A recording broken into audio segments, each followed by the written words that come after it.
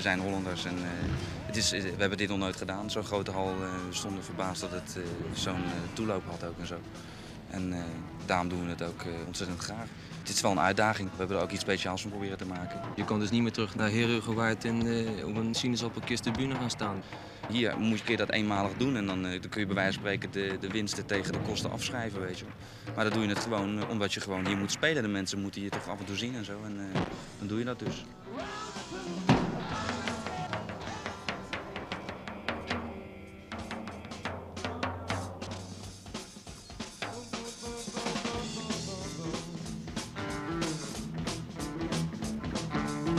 Altijd het fameuze cliché van uh, popmuziek maken. Dat is voor degenen die dat doen een soort levensstijl. Wat vind je daarvan? Nou, dat is het ook wel, ja.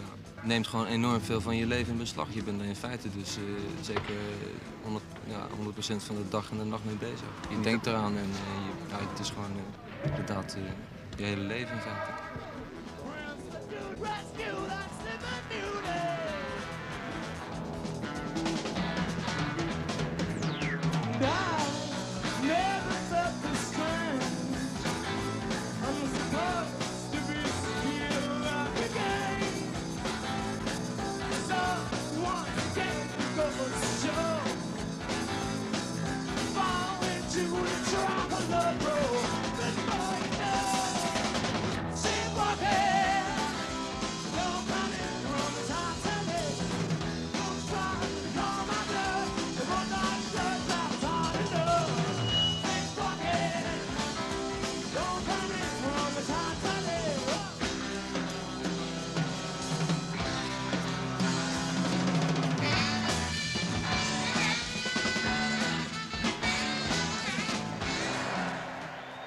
Ik doe het in de eerste plaats voor mijn lol.